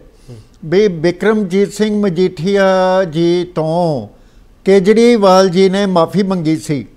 ਕਿ ਇਹ ਇਹ ਵੈਂਡੇਟਾ ਜਾਂ ਮਿਲੀ ਭੁਗਤ ਨਹੀਂ ਜਿਹੜੀ ਐਵੀਡੈਂਟ ਮੈਨੂਫੈਕਚਰ ਹੋ ਰਹੀ ਹੈ ਔਰ ਇਹ ਇਹਨੂੰ ਅੱਗੇ ਵਧਾਉਣ ਦਾ ਯਤਨ ਕਰ ਰਿਹਾ ਹੈ। ਇੱਥੇ ਮੈਂ ਇੱਕ ਗੱਲ ਆਪਣੇ ਸਾਰੇ ਮਿਹਰਬਾਨ ਸੱਜਣਾ ਨੂੰ ਜਿਹੜੇ ਬੈਠੇ ਨੇ ਮੇਰੇ ਭਰਾ ਹੀ ਨੇ ਉਹਨਾਂ ਨੂੰ ਇਹ ਗੱਲ ਦੱਸਣੀ ਚਾਹਾਂਗਾ। ਸ਼ੁਰੂ ਤੋਂ ਕਹਿੰਦਾ ਪੋਲੀਟੀਕਲ ਵੈਂਡੇਟਾ ਤਾਂ ਕਾਂਗਰਸ ਸਰਕਾਰ ਵਾਲੇ ਵੀ ਕਹਿੰਦਾ ਸੀ ਹੁਣ ਵੀ 2000 ਦਿੱਤੀ ਉਹਨਾਂ ਨੂੰ। 2001 ਤੋਂ ਲੱਗ ਕੇ 2019 ਤੱਕ ਪ੍ਰਹਲਾਦ ਸਿੰਘ ਭੱਟੀ ਵਰਸਸ ਐਨਸੀਟੀ ਦਿੱਲੀ ਤੋਂ ਲੱਗ ਕੇ ਪੀ ਚਿਦੰਬਰਮ ਵਰਸਸ ਸੀਬੀਆਈ 2019 ਤੱਕ। 19-20 ਸਾਲ ਦੇ ਵਿੱਚ ਸੁਪਰੀਮ ਕੋਰਟ ਨੇ 6 ਪ੍ਰਿੰਸੀਪਲ ਜਿਹੜੇ ਨੇ ਐਵੈਲੂਏਟ ਕੀਤੇ ਨੇ ਉਹਦੇ ਵਿੱਚ। ਵੀ ਕਿੰਨਾ ਵਜ੍ਹਾ ਕਰਕੇ ਲਿਬਰਟੀ ਜਿਹੜੀ ਹੈ ਕਰਟੇਲ ਹੋ ਸਕਦੀ ਹੈ ਲੇਕਿਨ ਤੁਸੀਂ ਸੁਪਰੀਮ ਕੋਰਟ ਵਿਕਰਮ ਸਿੰਘ ਨੇ ਮਜੀਠੀਆ ਨੂੰ ਕਲੀਨ ਚਿੱਟ ਦਿੰਦੇ ਹੋ ਪੱਟੀ ਸਾਹਿਬ। ਦੇਖੋ ਉਹਨਾਂ ਦੇ ਕੇਸ ਜੇ ਕੁਝ ਹੁੰਦਾ ਤੇ ਐਫ ਆਈ ਆਰ ਹੁੰਦੀ। ਐਫ ਆਈ ਆਰ ਹੈ ਨਹੀਂ ਹਾਂ। ਤੇ ਪੂਛ ਐਡੀ ਵੱਡੀ ਹੈ ਵੀ ਜਿਹੜੀ ਨਹੀਂ ਐਫ ਆਈ ਆਰ ਨਹੀਂ ਐਫ ਆਈ ਆਰ ਹੀ ਨਹੀਂ। ਜੇ ਉਹਨੂੰ ਐਫ ਆਈ ਆਰ ਨੂੰ ਦੇਖੋ ਤੁਸੀਂ ਉਸ ਦਾ ਨਾ ਹੈਡ ਹੈ ਨਾ ਟੇਲ ਹੈ ਨਾ ਬਾਕੀ ਤਾਂ ਮੈਂ ਕੀ ਕਮਾਂ ਐਫ ਆਈ ਆਰ ਚ ਕੁਝ ਨਹੀਂ ਹੈਗਾ ਫਿਰ ਐਫ ਆਈ ਆਰ ਕੁਐਸ਼ ਕਰ ਲਈ ਕਿਉਂ ਤਾਰੀਖ ਇੱਕ ਇੱਕ ਛੋਟੀ ਜੀ ਗੱਲ ਮੈਂ ਹੋਰ ਕਹਿਣੀ ਚਾਹਾਂਗਾ। Human liberty is a precious constitutional value supreme court ਇਹ ਬਾਰ-ਬਾਰ ਕਹਿ ਰਹੀ ਹੈ। ਔਰ ਕੀ ਇਸ ਦੇ ਵਿੱਚੋਂ ਇਹ ਐਸਐਲਪੀ ਜਿਹੜੀ ਹੈ ਇਹ ਟੈਸਟ ਪਾਸ ਕਰਕੇ ਨਿਕਲ ਜਾਏਗੀ। ਇਹ ਆਪਣੇ ਆਪ ਦੇ ਵਿੱਚ ਬੜਾ ਵੱਡਾ ਸਵਾਲ ਹੋਏਗਾ। ਹਾਂ mister Shashiveer. With due respect Patti sahib senior advocate ਨੇ Patti sahib already cases supreme court ਦੇ ਵਿੱਚ ਤੁਸੀਂ ਦੇਖੋਗੇ ਕੇਸਿਸ ਬਹੁਤ ਹੈ। ਇਸ ਤਰ੍ਹਾਂ ਵੀ ਨੰਬਰ ਆਫ ਕੇਸਿਸ ਹੈ ਉਸ ਤਰ੍ਹਾਂ ਵੀ ਨੰਬਰ ਆਫ ਕੇਸਿਸ ਹੈ। ਅਸੀਂ ਕਿਸੇ ਵੀ ਟੀਵੀ ਚੈਨਲ ਤੇ ਬੈਠ ਕੇ ਕਿਸੇ ਨੂੰ ਵੀ ਅਸੀਂ ਕਲੀਨ ਚਿਟ ਨਹੀਂ ਦੇ ਸਕਦੇ। ਅਗਰ ਕੋਈ ਐਫ ਆਈ ਆਰ ਹੋਈ ਹੈ ਮੈਂ ਕਲੀਨ ਚਿਟ ਦਿੱਤੀ ਨਹੀਂ ਜੀ ਕਿਸੇ ਨੂੰ। ਮੈਂ ਤੇ ਜੋ ਸੁਪਰੀਮ ਕੋਰਟ ਨੇ ਕਿਹਾ ਹੈ, ਉਸ ਦੀ ਗੱਲ ਕੀਤੀ ਹੈ। ਸਰ ਮੈਂ ਆਨਰੇਬਲ ਸੁਪਰੀਮ ਕੋਰਟ ਦੇ ਮੇਰੇ ਕੋਲ ਵੀ ਲਾਅ ਨੇ ਸਰ ਮੈਂ ਅਗਰ ਲਾਅ ਗਿਣਾਉਣ ਜਾਵਾਂਗਾ ਤੇ ਡਿਬੇਟ ਇੱਕ ਘੰਟੇ ਦੀ ਉੱਥੇ ਓਵਰ ਹੋ ਜਾਏਗੀ। ਐਨਡੀਪੀਐਸ ਕੇਸਿਸ ਦੇ ਮੈਂ ਤੁਹਾਡੇ ਕੋਲ 150 ਸੁਪਰੀਮ ਕੋਰਟ ਲਾਅ ਦੱਸ ਦੇਣਾ ਵਾ ਸਰ। ਜਿਹਦੇ ਨਾਲ ਕਿਤੇ ਵੀ ਇਨਵੋਲਵਮੈਂਟ ਹੋ ਸਕਦੀ ਹੈ ਬਟ ਮੈਂ ਮੈਂ ਤਾਂ ਰੁਕੋ, ਮੈਂ ਤਾਂ ਇਹ ਰੁਕੋ, 6 ਲਾਈਨਾਂ ਲੈ ਕੇ ਆਇਆ ਜੀ। ਅਰਨਬ ਗੋਸਵਾਮੀ ਦੇ ਕੇਸ ਦੀਆਂ। ਪਟ ਪੱਟੀ ਸਾਹਿਬ ਚਲੋ ਆਪਾਂ ਉਹ ਉਹ ਗੱਲ ਆਰਗੂਮੈਂਟ ਕਰ ਚੁੱਕੇ ਹਾਂ। ਸ਼ਸ਼ੀ ਵੀਰ ਜੀ ਸਿੱਧਾ ਸਵਾਲ ਹੈ। ਸ਼ਸ਼ੀ ਵੀਰ ਜੀ ਤੁਸੀਂ ਜਿਸ ਇਲਾਕੇ ਵਿੱਚ ਬੈਠੇ ਹੋ ਉਸ ਇਲਾਕੇ ਤੋਂ ਸਭ ਤੋਂ ਵੱਧ ਵੀਡੀਓਜ਼ ਵਾਇਰਲ ਹੋਈਆਂ ਨਸ਼ੇ ਦੇ ਮਾਮਲੇ ਜਿਹੜੀ ਗਲਤਾਨ ਹੁੰਦੀ ਜਵਾਨੀ ਹੈ। ਸਰ ਉਸ ਮਾਮਲੇ ਤੇ ਐਕਸ਼ਨ ਲੈਣ ਦੀ ਬਜਾਏ ਆਪਾਂ ਸਿਰਫ ਪੋਲੀਟੀਕਲ ਹਾਈਪ ਦੇਣ ਲਈ ਇਸ ਮੁੱਦੇ ਨੂੰ ਚੱਕ ਰਹੇ ਹਾਂ ਸ਼ਸ਼ੀ ਵੀਰ ਜੀ। ਗਰਾਊਂਡ ਤੇ ਕੀ ਕਰ ਰਹੇ ਹੋ ਸਰ? ਮੇਰਾ ਸਵਾਲ ਇਹ ਹੈ। ਸ਼ਸ਼ੀ ਵੀਰ ਜੀ। ਸਰ ਮੈਂ ਡਾਟਾ ਦੇ ਡਾਟਾਬੇਸ ਤੇ ਗੱਲ ਕਰਦਾ। ਲਾਸਟ 4 ਮਹੀਨਿਆਂ ਦੇ ਵਿੱਚ 5346 ਐਫ ਆਈ ਆਰਸ ਹੋਈਆਂ ਮੈਂ ਨਸ਼ੇ ਦੇ ਕੇਸਿਸ ਦੇ ਵਿੱਚ ਜਿਹਦੇ ਵਿੱਚ 580 ਕਮਰਸ਼ੀਅਲ ਕੁਆਂਟੀਟੀ ਦੀ ਐਫ ਆਈ ਆਰਸ ਹੈ। ਤੁਸੀਂ ਕਿਤੇ ਵੀ ਨਹੀਂ ਕਹਿ ਸਕਦੇ ਹੋ। ਦੂਸਰੀ ਗੱਲ ਸਰ ਸਭ ਤੋਂ ਵੱਡੀ ਗੱਲ ਜਦੋਂ ਦੀ ਸਰ- ਸਰਕਾਰ ਬਣੀ ਹੈ 186 ਪਲੱਸ ਪੀਓ ਜੋ ਕਿ ਪ੍ਰੋਕਲੇਮਡ ਆਫੈਂਡਰ ਸੀਗੇ ਭਗੋੜੇ ਸੀਗੇ ਨਸ਼ੇ ਦੇ ਕੇਸਾਂ ਦੇ ਵਿੱਚ। 1985 ਦੇ ਪੀਓ 1990 ਦੇ ਪੀਓ ਉਹ ਪੰਜਾਬ ਪੁਲਿਸ ਨੇ ਪਹਿਲੀ ਦਰਜ ਤੇ ਫੜੇ ਨੇ। 186 ਤੋਂ ਵੱਧ ਇੱਕ ਸਧਾਰਨ ਸਵਾਲ 46 ਕਰਦਾ ਸ਼ਸ਼ੀ ਵੀਰ ਜੀ ਇੱਕ ਸਧਾਰਨ ਸਵਾਲ ਕਰਦਾ। ਜਿਹਦੇ ਨਾਲ ਮੇਰੇ ਮੇਰੇ ਦਰਸ਼ਕ ਨੂੰ। ਸਮਝ ਆ ਜਾਵੇ ਸ਼ਸ਼ੀ ਵੀਰ ਜੀ। ਕੋਈ। ਵੱਡੀ ਮੱਛੀ ਫੜੀ ਹੈ ਸਰ ਇਹਨਾਂ 7 ਮਹੀਨਿਆਂ ਦੇ ਵਿੱਚ? ਸਰ 1097 ਜਿਹੜੀ ਹੈ ਸਰ ਵੱਡੀ ਮੱਛੀਆਂ ਨੇ। ਵੱਡੀਆਂ ਮੱਛੀਆਂ ਉਹ ਨਹੀਂ ਕਿ ਜਿਹੜੀ ਪਬਲਿਕਲੀ ਫੇਮਸ ਹੋਣ। ਵੱਡੀਆਂ ਮੱਛੀਆਂ ਉਹ ਜਿਹੜੇ ਪੰਜਾਬ ਦੀ ਜਵਾਨੀ ਕਹਿੰਦੇ ਖਾ ਹੋ ਚੁੱਕੇ ਸ਼ਸ਼ੀ ਨੇ। ਵੀਰ ਜੀ ਮੈਂ ਨਹੀਂ ਕਹਿੰਦਾ ਸੀਗਾ। ਤੁਸੀਂ ਕਹਿੰਦੇ ਸੀਗੇ ਵੱਡੀ ਮੱਛੀ ਫੜ ਕੇ ਦਿਖਾਵਾਂਗੇ। ਮੈਂ ਤਾਂ ਉਹ ਪੁੱਛ ਰਿਹਾ ਸਰ। ਸਰ ਮੈਂ ਫੈਕਟ ਦੇ ਬੇਸ ਤੇ ਗੱਲ ਕਰ ਰਿਹਾ। ਅਗਰ ਮੈਂ ਗਲਤ ਹਾਂ ਕਿਸੇ ਵੀ ਅੰਕੜੇ ਦੇ ਉੱਤੇ ਮੈਂ ਤੁਹਾਨੂੰ ਕਰੇ 5346 ਜਸਟ ਇਹ 4 ਮਹੀਨਿਆਂ ਦੀਆਂ ਪਿਛਲੇ 3 ਮਹੀਨਿਆਂ ਦੇ ਨਹੀਂ ਕਹਿ ਰਿਹਾ। ਉਹਦੇ ਵਿੱਚ 580 ਕਮਰਸ਼ੀਅਲ ਕੁਆਂਟੀਟੀ ਦੀ ਐਫ ਆਈ ਆਰਸ ਹੈ ਜਿਹੜੀ ਵੱਧ ਨਸ਼ੇ ਦੇ ਸ਼ਸ਼ੀ ਵੀਰ ਜੀ ਤੁਹਾਡੀ ਗੱਲ ਬਿਲਕੁਲ ਠੀਕ ਹੈ ਸ਼ਸ਼ੀ ਵੀਰ ਜੀ। ਮੈਂ ਤੁਹਾਡੀ ਗੱਲ ਨੂੰ ਡਰਾਈ ਨਹੀਂ ਕਰ ਰਿਹਾ। ਖੜਿਆਲ ਸਾਹਿਬ ਵੀ ਕੈਪਟਨ ਸਰਕਾਰ ਦਾ ਡਾਟਾ ਚੱਕੀ ਬੈਠੇ ਆ। ਕੈਪਟਨ ਸਰਕਾਰ ਨੂੰ ਵੈਸੇ ਨਿੰਦੇ ਰਹਿਣਗੇ ਸਾਰੇ ਪਰ ਜਦੋਂ ਡਾਟਾ ਦੇਣਾ ਹੁੰਦਾ ਡਰੱਗ ਵਾਲਾ ਉਦੋਂ ਕੈਪਟਨ ਸਰਕਾਰ ਦਾ ਡਾਟਾ ਚੱਕ ਕੇ ਲੈ ਕੇ ਆਉਂਦੇ ਸਾਰੇ। ਹਾਂ। ਮਿਸਟਰ ਖੜਿਆਲ ਮਿਸਟਰ ਖੜਿਆਲ ਬੋਲੋ। ਕੇਪੀ ਜੀ ਆਪਣੇ ਇੱਥੇ ਸਟੇਟ ਗਵਰਨਮੈਂਟ ਦੇ ਵਿੱਚ ਸਿਰਫ ਇੱਕ ਬੰਦਾ ਨਹੀਂ ਸਾਰੀ ਸਰਕਾਰ ਚਲਾਉਂਦਾ ਮਿਨਿਸਟਰਸ ਚਲਾਉਂਦੇ ਆ ਲੀਡਰਸ ਚਲਾਉਂਦੇ ਆ ਬਿਊਰੋਕਰੈਟਸ ਚਲਾਉਂਦੇ ਆ ਤੇ ਇੱਕ ਬੰਦੇ ਨੂੰ ਤੁਸੀਂ ਕ੍ਰੈਡਿਟ ਨਹੀਂ ਦੇ ਸਕਦੇ ਸਭ ਦਾ ਕਲੈਕਟਿਵ ਐਫਰਟ ਹੁੰਦਾ। ਹੈ ਦੇਅਰਫੋਰ ਜੇ ਕੋਈ ਕ੍ਰੈਡਿਟ ਲਈ ਬਹੁਤ ਭੁੱਖਾ ਹੈ ਕਿਸੇ ਨੂੰ ਹੰਗਰ ਹੈ ਵੀ ਕ੍ਰੈਡਿਟ ਚਾਹੀਦਾ ਹੈ ਉਹ ਆਪਦੇ ਆਪ ਨੂੰ ਸ਼ਾਬਾਸ਼ੀ ਦੇ ਸਕਦਾ ਹੈ। ਲੇਕਿਨ ਇਹ ਪੂਰੀ ਟੀਮ ਦੀ ਪੰਜਾਬ ਦੀ ਫੋਰਸ ਦੀ ਅਥਾਰਟੀਆਂ ਦੀ ਬਿਊਰੋਕਰੈਟਸ ਚਲੋ ਮੈਂ ਇੱਕ ਸਵਾਲ ਕਰ ਲਾਂ ਮਿਸਟਰ ਖੜਿਆਲ ਸਵਾਲ ਮਿਸਟਰ ਖੜਿਆਲ ਇੱਕ ਸਵਾਲ ਕਰ ਲਾਂ ਮਿਸਟਰ ਖੜਿਆਲ ਇੱਕ ਸਵਾਲ ਕਰ ਲਾਂ। ਤੁਸੀਂ ਬਹੁਤ ਜ਼ਿਆਦਾ ਦਲੀਲ ਦਿੱਤੀ ਹੈ ਮਿਸਟਰ ਖੜਿਆਲ ਇਹ 4.5 ਸਾਲ ਕਾਂਗਰਸ ਸਰਕਾਰ ਦੀ ਨਾਕਾਮੀ ਸੀ ਕੈਪਟਨ ਸਰਕਾਰ ਦੀ ਨਾਕਾਮੀ ਨਹੀਂ ਸੀ। ਖੜਿਆਲ ਸਾਹਿਬ ਬੋਲੋ। ਕਾਦੀ ਕੀ ਨਕਾਮੀ ਸੀ? 4.5 ਸਾਲ ਜੇ ਨਹੀਂ ਕੀਤਾ ਕੁਝ ਤੁਸੀਂ ਤਾਂ ਤੁਹਾਡੀ ਨਕਾਮ ਤੁਸੀਂ ਤਾਂ ਹੀ ਬਦਲਿਆ ਸੀ ਨਾ ਕੈਪਟਨ ਅਮਰਿੰਦਰ ਸਿੰਘ ਨੂੰ।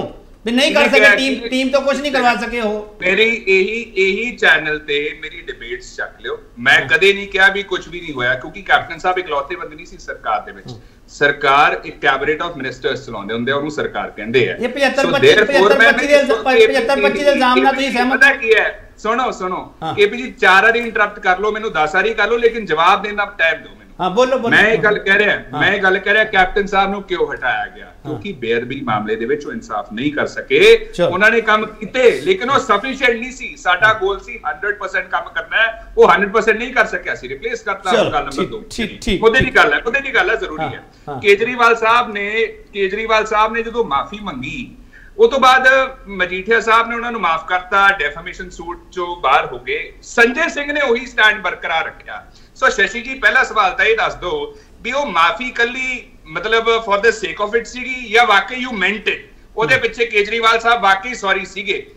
ਤੇ ਸਿਰਫ ਉਹ ਆਪਦੀ ਜਾਨ ਛਡਾਉਣ ਲਈ ਨਹੀਂ ਸੀ ਇਹ ਸਟੈਂਡ ਸਪਸ਼ਟ ਕਰ ਦਿਓ ਕੋਈ ਦੂਜਾ senior leader Aam Aadmi party ਦਾ ਕੁਝ ਹੋਰ ਕਰ ਰਿਹਾ ਐਗਜ਼ੈਕਟਲੀ ਆਪੋਜ਼ਿਟ ਦੂਜੀ ਗੱਲ ਜਿਹੜੀ ਐਸਐਲਪੀ ਦੀ ਗੱਲ ਕਰ ਰਹੇ ਹੋ ਸਪੈਸ਼ਲੀ ਪਟੀਸ਼ਨ ਉਹਦਾ ਲਿਮਿਟੇਸ਼ਨ ਪੀਰੀਅਡ ਹੁੰਦਾ ਹੈ। ਤੇ ਜੇ ਮੈਨੂੰ ਸਹੀ ਯਾਦ ਹੈ ਜਨਵਰੀ 2000 ਅਹ ਜਨਵਰੀ 24 2022 ਨੂੰ ਆਰਡਰ ਆ ਗਿਆ ਸੀਗਾ।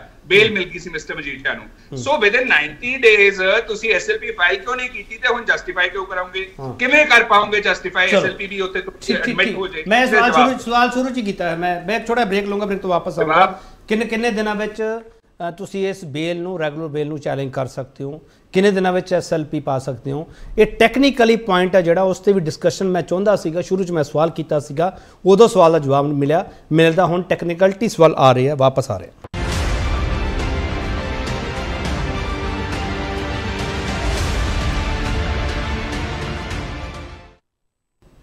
ਇੱਕ ਵਾਰ ਫਿਰ ਤੁਹਾਡਾ ਸਵਾਗਤ ਕਰਦੇ ਹਾਂ ਤੇ ਵੱਡਾ ਸਵਾਲ ਤੁਹਾਡੇ ਸਾਹਮਣੇ ਹੈ। ਨਸ਼ਿਆਂ ਸਨੇ ਮਜੀਠੀਆ ਖਿਲਾਫ ਹੁਣ ਤੱਕ ਪੰਜਾਬ ਸਰਕਾਰ ਦੇ ਦਾਅਵੇ ਚ ਕਿੰਨਾ ਦਾਮ ਮਿਸਟਰ ਪੱਟੀ ਐਸਐਲਪੀ ਕਦੋਂ ਤੱਕ ਪਾਈ ਜਾ ਸਕਦੀ ਹੈ? ਕਿੰਨੇ ਦਿਨ ਹੁੰਦੇ ਆ? ਪਹਿਲਾਂ ਵੀ ਸਵਾਲ ਕੀਤਾ ਸੀ ਹੁਣ ਫਿਰ ਕਰ ਰਹੇ ਹਾਂ।